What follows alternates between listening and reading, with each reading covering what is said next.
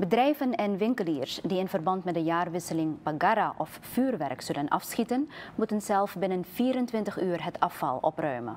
Dit besluit is genomen door minister Jerry Miranda van Openbare Werken, Transport en Communicatie en de districtscommissarissen van Paramaribo. Volgens Miranda is deze maatregel genomen omdat in het verleden is gebleken dat rioleringen in de binnenstad verstopt raakten door vuurwerkafval.